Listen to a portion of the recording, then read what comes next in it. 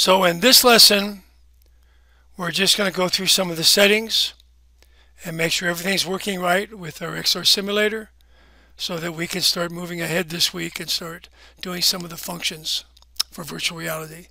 Don't get frustrated. Sometimes if things don't work or if they stop working, this is a pretty complicated uh, software package. So um, just make sure if you do, you keep in touch with me and we'll figure it out.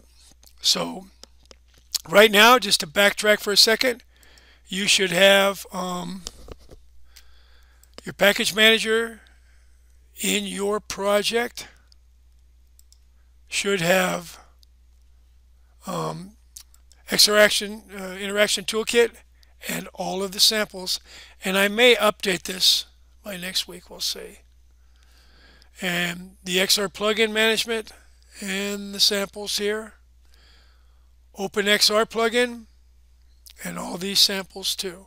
If you have a headset, you're going to go to the registry and you're going to um, get the Oculus plugin here. And that would be then that would then, then be in your project. So if you looked at your project, uh, the Oculus would be inside there. That's only if you have a headset though. So right now if I play my game, um, I have my simulator and of course if, if I go to my headset and I build, I'm going to disable this. So you need to pay attention to this, if, especially if you're using a headset. If this is on when you build and then you go try to play your game with a headset, it's not going to work. It's looking for a mouse. So if you come back to your game and you've disabled it, and then you start trying to play your game, you're going to figure, oh, I just messed up. Um, now nothing works. Well, of course it works. You just you have your simulator um, unactivated. So pay attention to that. And I moved my uh, my rig sort of inside my game some, so I can start a little bit closer inside here. Maybe I'm too close. So let's try this. So if I go in my game, I can look around. Yeah, I'm too low. So this is, you know, nothing but trial and error. You know, just move your rig a little bit, play it, move your rig a little bit, play it.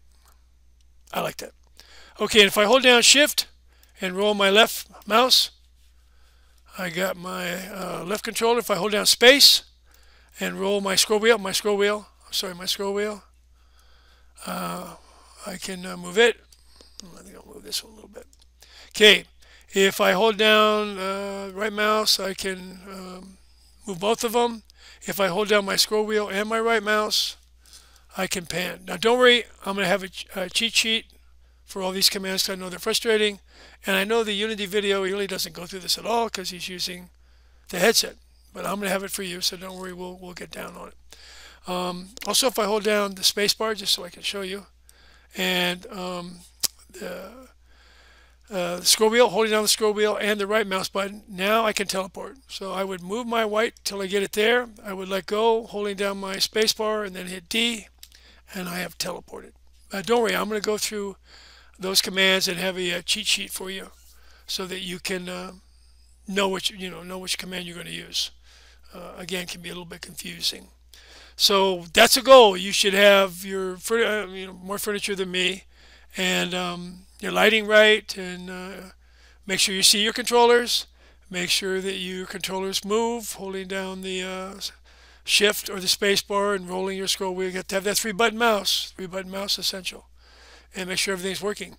Um, if you have a headset, um, make sure when you build, you choose PC build and you disable this. And then you need to go, and I think I showed this last time, into your edit project settings and down here, make sure you choose, yeah, why is that not chosen? And then this one here, Oculus. And then the last one, Oculus.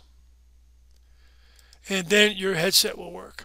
Um, let's say you have a problem and, and things aren't working. I'm going to save this scene and you, you, you, all of a sudden it stopped working. The easiest thing to do is go back and you should not have overwritten this one to your original um, scene. which in this case was created with this is the one they came with now I put a house inside there probably shouldn't have but when you get a scene inside a project you want to save it right away because you, you want to go back to it if you have to so let's say nothing's working well if you want to make sure you have the project right you would go here and then you would go to your samples XR interaction 2.02 that's the one I may upgrade. XR device simulator. And drag the simulator in. Now I'm going to move my thing back here. So all I have is the house but I want to test my controls right? See if my packages work. So now I can start moving my controllers and they work and so I know I'm good so I, I know everything's working before I start building too much um, and I don't quite know why that is so close.